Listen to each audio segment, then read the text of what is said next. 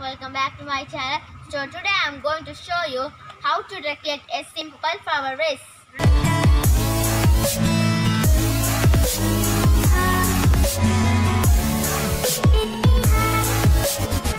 We need a simple pot, water, gum, paint and the main thing is white cement. To mix it with water and gum.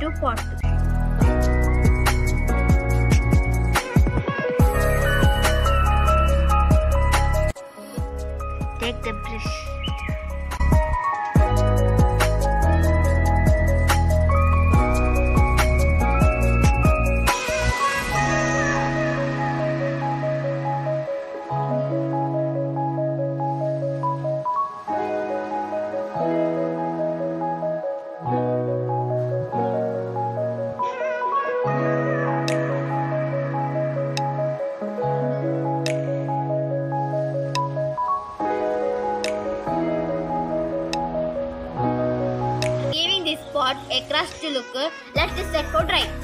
So it took an half an hour to dry. So let's paint it.